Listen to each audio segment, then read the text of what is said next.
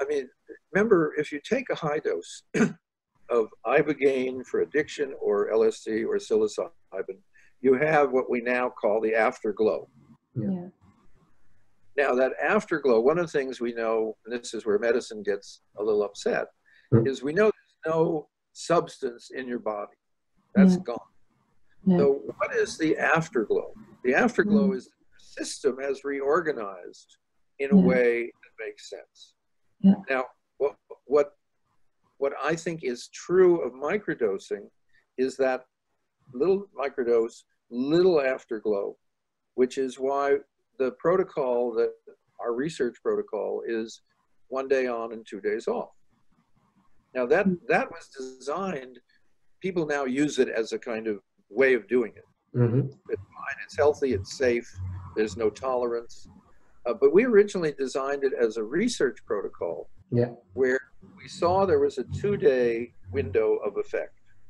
So, what we wanted people to do is on the third day is feel the way they used to.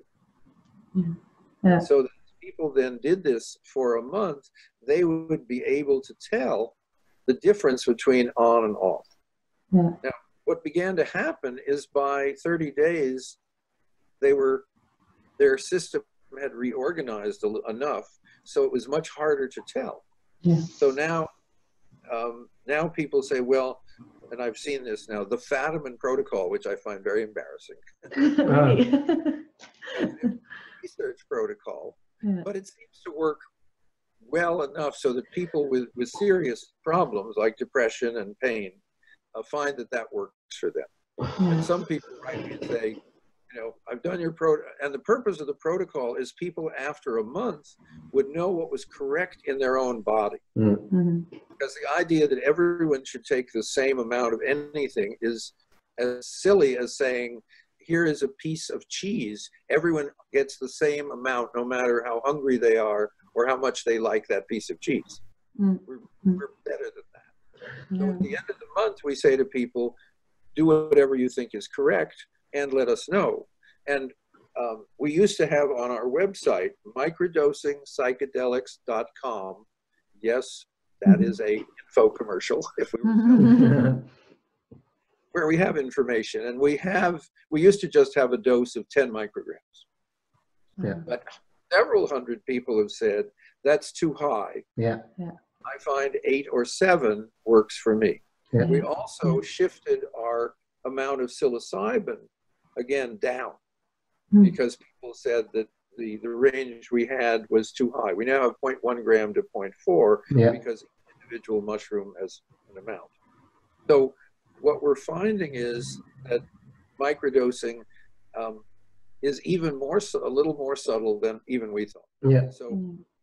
I'm not sure what, I think your people are telling you how much they're taking. We also discovered that. We- I, I just uh, like two hours ago we went for for uh, for dinner and uh, uh, I said yeah like 20 micrograms that almost nobody takes that. It's uh, uh, for a microdose, eh, for a mini dose, but that's that's uh, also uh, what we discovered that almost all side effects that people uh, Report. uh, and report are because they take too much and then the set and setting becomes more important so if you take too much on a uh, on your work then yeah it's it yeah you become anxious or you become uncomfortable or you got that sort of the story that I tell is, as, as you know, lots of people who say, gee, if some is good, more must be better. Mhm. Mhm. less is better Mhm.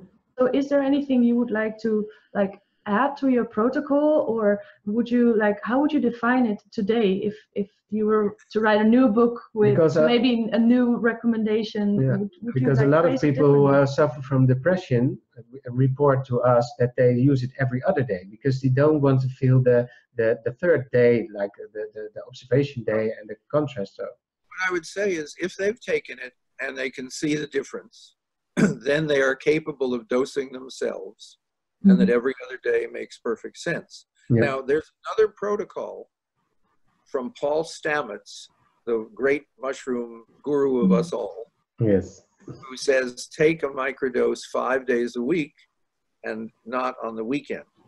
Yeah. Now, I have no idea what his, I'm sure his evidence is both personal and other people. Um, I haven't had a chance to ask him, is there any science behind it? Um, but clearly, what he's saying is that prevents what we call tolerance, which is that it won't work as well, and that people benefit from it. And so that is another way. In, in my world, see, he's in a world where there's a lot of mushrooms. Yeah.